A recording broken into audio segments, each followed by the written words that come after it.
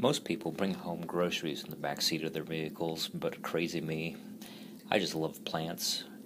And this passion fruit vine was something I had to try this year. They really don't grow up in northern United States. It's more of a tropical fruit, but I wanted to try it anyways. It looks very lush and green, and it's kind of like uh, you, with tomatoes or peppers, you know, and that you have to really start them earlier in the year.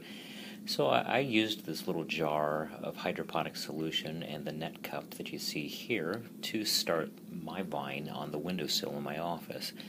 It was uh, started back around December of last year and has been growing on the window ledge quite well for me the vine is a very prolific vine. It has uh, come out into the office area and spread quite a bit. I did prune it a few times, and you can see that it still has multiple runners that are uh, coming out of that jar. The plant itself um, became very lush with nothing more than the sunlight in the window.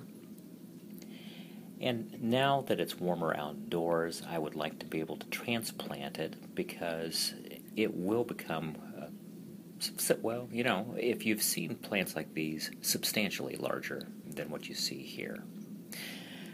So I wanted to get a larger container that would allow me to grow it out to its full size and hopefully not only get the exotic flowers but also the uh, passion fruits themselves. By using a net cup that was a little bit larger, as you see here, the uh, roots grew through the net pot down into that little jar of solution. And I'm going to put that into a 44 gallon brute trash can full of nutrients, which should give those roots quite a bit more room to grow. You'll notice that the 3.75 inch net pot just drops exactly down into the lid that I uh, drilled a hole in to accommodate it. 44 gallons is a lot of nutrient solution, and I wanted to use something that was proven that uh, is a simple nutrient that is complete with all the macro and micro uh, nutrients in it, cal, mag, pH balance, to make it as simple as possible. So, what I selected was um, Dyna-Gro. And you'll notice when I pop the lid off this 44 gallon container that the uh, water that I filled it with um, does not come all the way up to the top. I did want to leave a little bit of room because of the roots that were growing in that jar. The upper portion of those are called aeration roots, and only the lower few inches were actually water gathering roots. So I only wanted the water gathering roots to touch that water and the aeration roots to be exposed to air.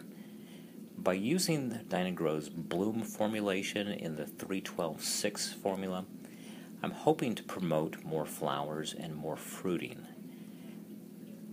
I actually use only one teaspoon per gallon, and it's very simple because this measuring cup that I picked up from the local Walmart store measures out in teaspoons and measure, measures out uh, substantially enough that I really don't have to keep, for example, taking a teaspoon and adding in one teaspoon at a time.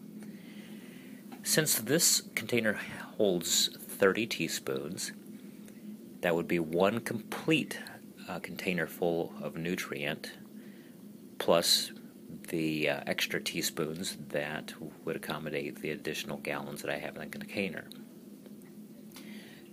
And you'll notice here in follow up that the plant is adjusting very well. It has begun to uh, vine out and climb up this trellis that I've made. It's nothing more than two 8 foot plant stakes and some fold flat tomato cages that I zip tied between the two plant stakes.